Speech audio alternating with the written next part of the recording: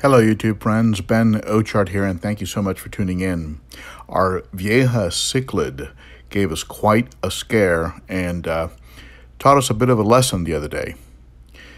None of the fish in my 90 gallon cichlid tank had jumped, even though the tank is uncovered, just a rimless, uncovered tank.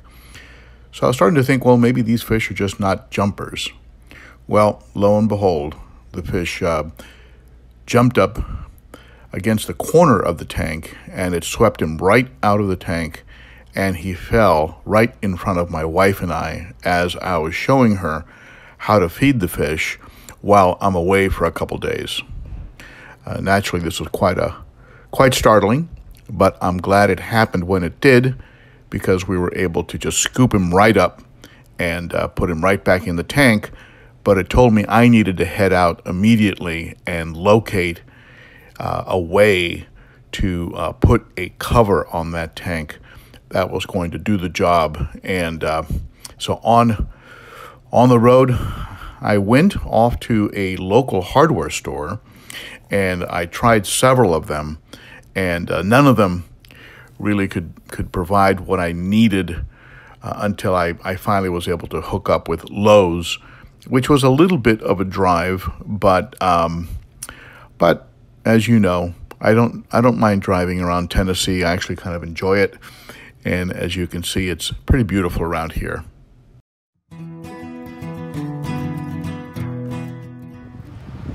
I called around at different locations. Home Depot wouldn't custom cut for me, and uh, local hardware store didn't have the size I needed. Lowe's had the size and would custom cut for me, so it's definitely worth the trip. Let's go inside and uh, get a solution for my jumping fish. I considered several types of material, including uh, cut glass, but I came across this this material here, which was um, which was reported to be 10 times stronger than glass and had a thickness that I hoped wouldn't um, wouldn't actually sag into the water because of the size that I needed to cover up. I was concerned about things sagging. As you can see, this is this is pretty stick, uh, you know, pretty pretty thick, and I'm hoping that that it'll stay, you know, nice and stiff, and um, and and not fall into the tank.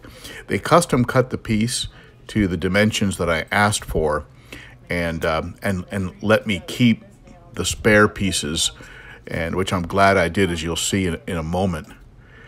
So I loaded everything up in the truck, the custom cut piece and the spare pieces, and I headed home.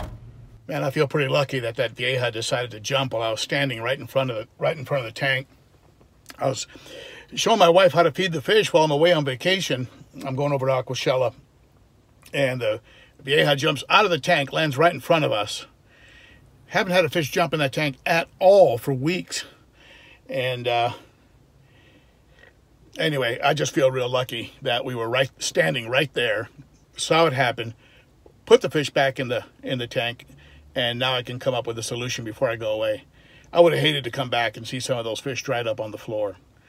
Anyway, I was hoping they weren't jumpers, but I guess I was just being a little bit naive. Uh, all right, so I'm going to go home, put the cover on.